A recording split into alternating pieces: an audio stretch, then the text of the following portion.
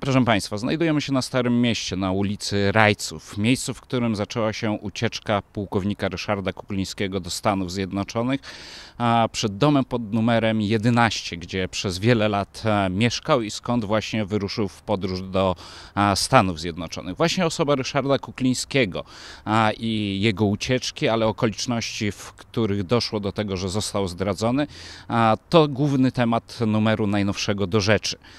W materiale układkowym ujawniamy, a nie jest to materiał a, dziennikarstwa typu copy-paste, a, to są zupełnie unikalne informacje świeże, których wcześniej nie publikowano.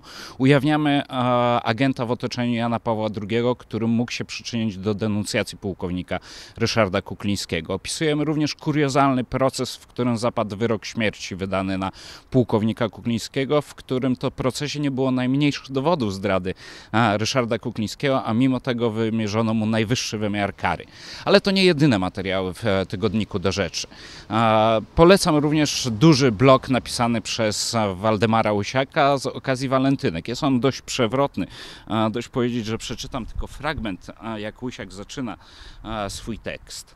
Wierzę, że samczyk może zakochać się w samczyku i że taka miłość mnie brzydzi, to już inna sprawa. Wstręt humanisty wobec homoseksualisty, reakcja zdrowego organizmu, z boki na boki cwelą precz. A później, jak to w filmach Hitchcocka, napięcie w tekście Łysiaka tylko rośnie.